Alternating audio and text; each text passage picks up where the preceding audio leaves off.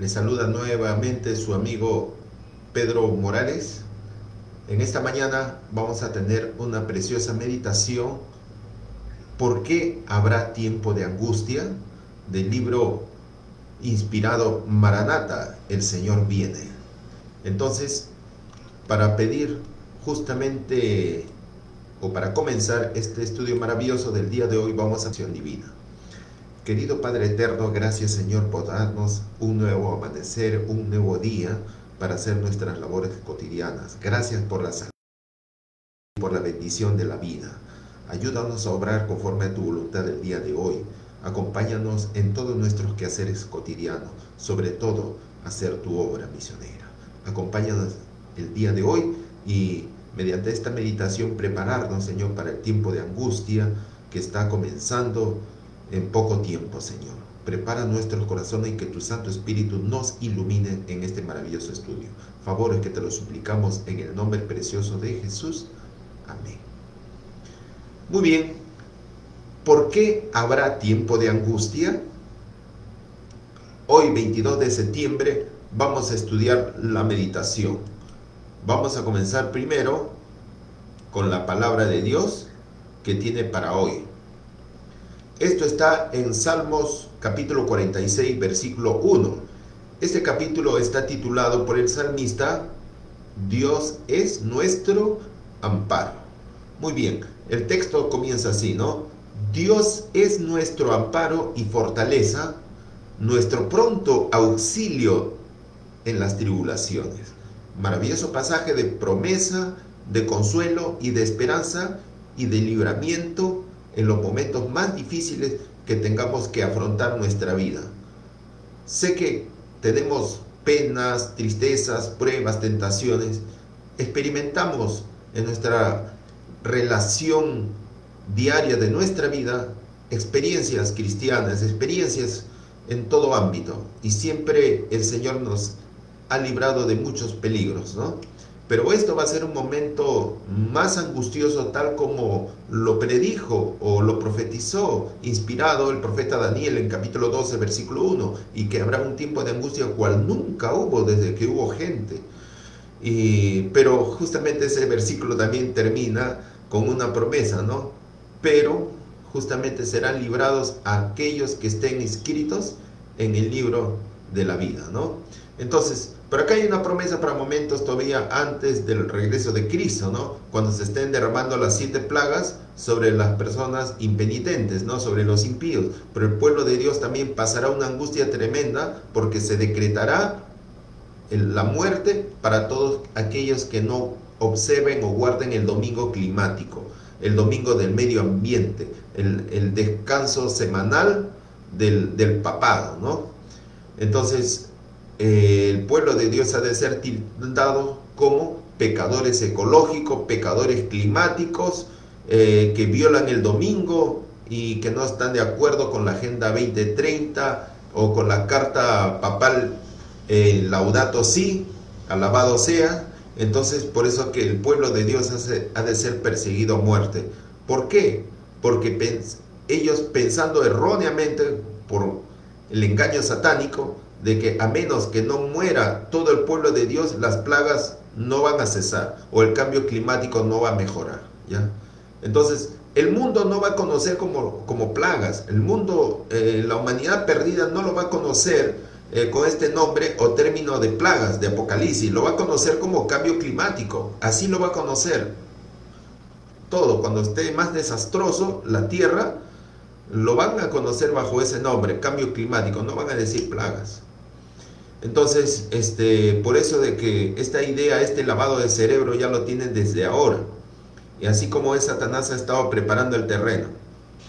Entonces, vamos a estudiar la pluma inspirada.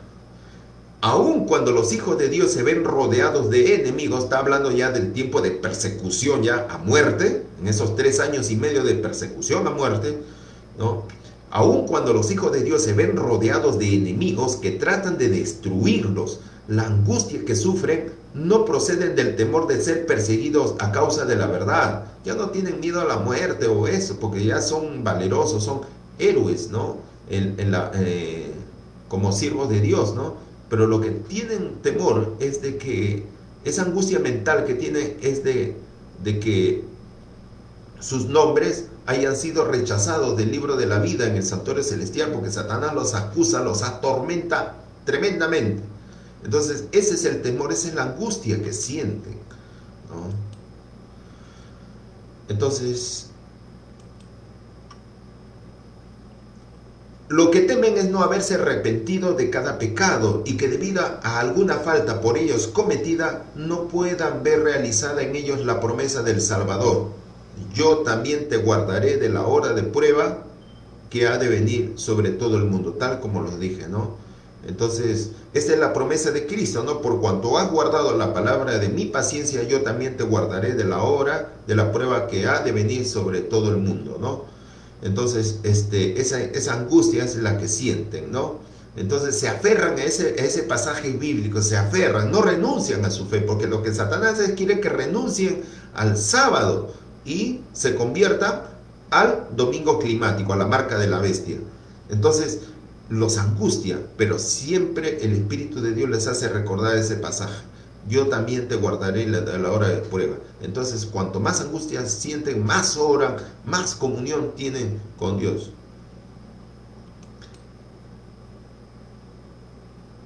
Si pudiesen tener la seguridad del perdón, no retrocederían ante las torturas ni la muerte, pero si fuesen reconocidos indignos de perdón y hubiesen de perder la vida eterna, ¿no? A causa de sus propios defectos de carácter, entonces el nombre el santo nombre de Dios sería insultado, vituperado. Así es. Entonces, si tan solo, ¿no? Un ángel diría a uno de los eh, siervos de Dios que están siendo angustiados, perseguidos, le diría, ¿no? Este, ¿sabe qué? Ten tranquilidad porque Jesús ya te perdonó en el cielo y tienes la vida eterna. Entonces, ¿qué, qué, miedo van a tener ante la, ante la misma muerte? Para nada. Máteme si quiero. Dirían, ¿no? Como Pablo, ¿no? Para mí el vivir es eh, Cristo y el morir es ganancia.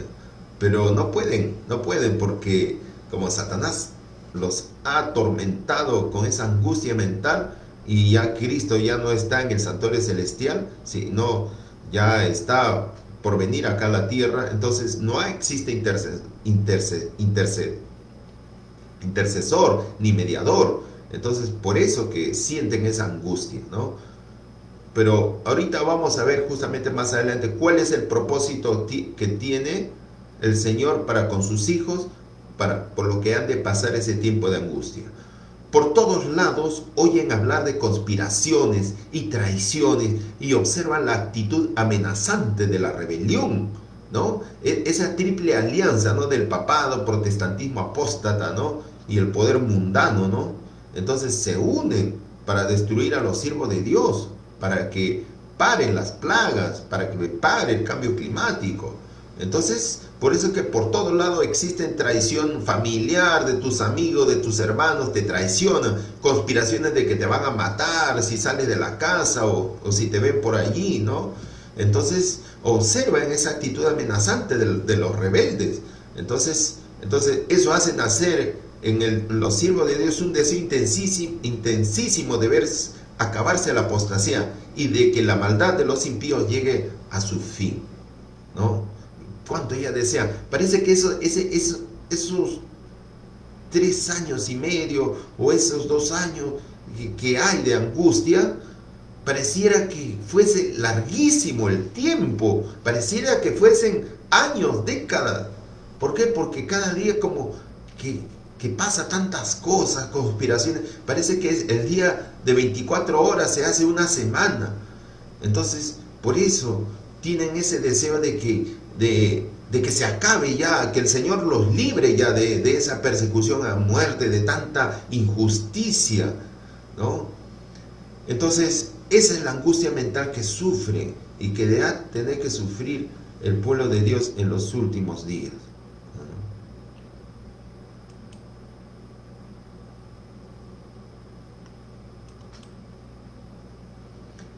Dice la sierva de Dios, acá. Pero mientras piden a Dios que detengan el progreso de la rebelión, se reprochan a sí mismos, el pueblo de, los 144 mil, ¿no? Se reprochan a, a sí mismos con gran sentimiento el no tener mayor poder para resistir y contrarrestar la potente invasión del mal. Esa es la angustia que uno siente, ¿no? De qué, cosas se reprochan a sí mismo, porque cuando era más joven no, no, no estudié teología, o porque no fui misionero, o porque hice, porque perdí mi tiempo en tal o cual cosa, debía entregarme a Dios con todo corazón, ahora estoy sufriendo. Si hubiese hecho eso mismo, ahora no estuviera sufriendo, estaría más tranquilo. Esos son los tipos de reproches que justamente el siervo de Dios va a sentir. Les parece que si hubiesen dedicado siempre toda su habilidad, todo ingenio, ¿no? Al servicio de Cristo, avanzando de virtud en virtud, la fuerza de Satanás no tendría tanto poder sobre ellos. Eso es lo que a veces sienten. Por eso yo te digo, mi querido hermano, mi querido amigo, ¿no? Si ahora tienes tiempo, hermano, aunque tengas trabajo, no te estoy diciendo de que renuncies a tu trabajo. Yo personalmente trabajo mis ocho horas es decir, te invito, hermano, dedícate siempre un tiempo a Dios a publicar, ya sea por redes sociales, ¿no? Algún mensaje de Dios o, o, o dar estudios bíblicos de la fe de Jesús a tu vecino, a tu amigo, a tu familia, ¿no? Dedica siempre tiempo a Dios. No pierdas tiempo, porque cuando venga estos tiempos angustiosos, vas a, vas a sentir ese, ese reproche de conciencia y Ellen White lo está diciendo porque vio en visión. Al menos trata de aprovechar todo el tiempo que, que tengas libre de compartir, ¿no? De compartir tu testimonio. Así cuando venga el tiempo de angustia, entonces vas a sentir menos carga de conciencia. De que vas a sentirlo, lo vas a sentir, pero va a ser en menos grado. Y aquí el, la sierva del Señor lo tiene revelado, ¿no? Dice, les parece que si hubiesen dedicado siempre toda su habilidad al servicio de Cristo, avanzando de virtud en virtud, la fuerza de Satanás no tendrían tanto poder sobre ellos. Yo, hermano, yo te pido que desde ahora te prepares para que cuando vengan tiempos muy angustiosos, no tengas... Eh, con tanta abrumación ese, ese sentimiento de culpa, ¿no? Aunque de repente vas a ser salvo, pero vas a sufrir mucho. Entonces lo que se trata es de que se, se aquilate un poquito, ¿no? La, la, la, intensidad, ¿no? Entonces, eso es el, eh, ese es el punto, ¿no? Porque Satanás va a preparar todas sus fuerzas con sus ángeles caídos para atormentarte, para hacer, tratar de que reniegues de tu fe. A eso va tenemos que pedir que el Señor nos ayude. Afligen sus almas ante Dios, mira ya, recordándole cada uno de sus actos de arrepentimiento, de sus numerosos pecados y la promesa del Salvador. ¿Forzará a alguien mi fortaleza? Haga conmigo paz, sí, haga paz conmigo. Es el tiempo ahora, hermano. El Señor nos pide eso, ¿no? Haz paz conmigo, sí, haz paz conmigo. Entonces el pueblo de Dios justamente trata de recordar todos sus pecados ¿no? que ha cometido y ha confesado, lo repite nuevamente para tener la seguridad de la respuesta afirmativa de, Dios. ¿no? Entonces, pero dice acá, muy interesante, su fe no decae si sus oraciones no reciben inmediata contestación. Entonces, la respuesta del Señor va, se va a alargar, se va a alargar. Diariamente no te va a dar una contestación como ahora, sí, tú te confiesas con sinceridad y, automáticamente sientes la paz de Cristo en tu corazón, pero ahí para esos momentos no, no vas a sentir eso. Vas a seguir como, vas a sentir como que si Dios no contestara tus oraciones. Acuérdense que el Señor sí va a contestar tus oraciones en el día de la liberación del pueblo de Dios, cuando caiga la séptima plaga. Ahí sí recién vas a sentir cuando el sol salga a medianoche y la voz de Dios eh, suene como un trueno en el cielo diciendo, ¿no? Eh, hecho es, consumado es. Recién vas a sentir. Dios va a contestar sus oraciones. Va a demorar, pero sí va a contestar. Entonces, prepare, preparémonos desde ahora, hermanos. Desde ahora. Aunque sufren la ansiedad el terror y la angustia más desesperantes, no dejan de orar, siguen ahí, echan mano del poder de Dios como Jacob se aferró al ángel y de sus almas se exhala el grito, no te soltaré hasta que me hayas bendecido. Es así como clamaba Jacob a, Cristo, ¿no? Porque Cristo es el ángel que, se apareció ante Jacob cuando eh, se veía amenazado de muerte por su hermano Esaú. ¿no? Si por él mismo fuera, se hubiera dejado matar por su hermano Esaú, pero él tenía niñitos, niñitos, sus hijos, tenía eh, a sus esposas, ¿no? Raquel y Lea, tenía, por su ganado le hubiera importado un poco de que muriese, ¿no? Pero él más eh, preocupado estaba por su, por Raquel, Lea y sus hijos. Ya tenía creo que 12 hijos. Entonces, este, en eso peligraba eh, la, vida de su familia. Entonces, por eso sintió esa angustia de haber qué cosa, de, haber este, cometido fraude con su hermano, ¿no? El, el tema de la primogenitura, ¿no? Entonces, este, de haber engañado a Esaú. Entonces, ese, ese remordimiento de conciencia es la que sentía. Por eso que Satanás quiso destruirlo. Satanás comenzó a acusar a Jacob ante Dios, ¿no? De que se merecía la muerte, ¿no? Pero como fue sincera su oración, por eso que Dios lo perdonó y también Esaú lo perdonó. Entonces, es así, hermano. El tiempo de angustia es el crisol que revelará los caracteres semejantes al de Cristo. Entonces es importante justamente pasar el oro ante el horno de fuego de la persecución y de la angustia para que salga a relucir lo más puro y toda la escoria, toda la basura que tiene el oro, ¿no? Va a quedar en el fuego, pero va a salir lo puro, lo puro, lo puro, ¿no? Entonces para eso es, ¿no? Por eso dice que el tiempo de angustia es el crisol que revelará los caracteres semejantes al de Cristo. Eso es, ¿no? Tiene como propósito inducir al pueblo de Dios a renunciar a Satanás y sus tentaciones. Por eso que ahí está la imagen, ¿no? No más Satanás, no más tentaciones, no más cosas del mundo. Entonces, eso es para que te aferre más a Dios y tu carácter sea cada vez más semejante al de Cristo. Para e, ese es el propósito que tiene, ¿no? Si todo fuera color de rosas, no. Entonces, ese es el propósito que justamente tiene el Señor de pasar esta etapa a sus hijos. Cristo la padeció. Cristo lo padeció en su, en su último en su última etapa de su ministerio terrenal. Ustedes la historia ya lo saben, ya sobre la pasión y la muerte de Cristo, todas las burlas, escupitazos, golpes, puñetazos, palo que recibió en la cabeza, todo, toda esa historia lo sabe. Entonces, ¿qué? ¿El pueblo de Dios lo va a pasar muy bonito y entrar por las puertas del cielo? No, el pueblo de Dios tiene que pasar como Cristo lo pasó. No lo vamos a pasar tan lindo. Entonces Jesucristo mismo, el Señor, dijo, ¿no? Que el siervo no es mayor que su Señor. ¿Ah?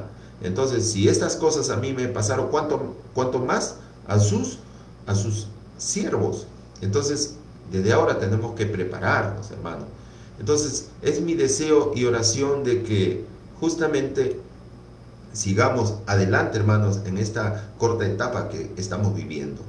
Vamos a pedir la bendición del Señor ahora que hemos aprendido sobre el tiempo de angustia de Jacob.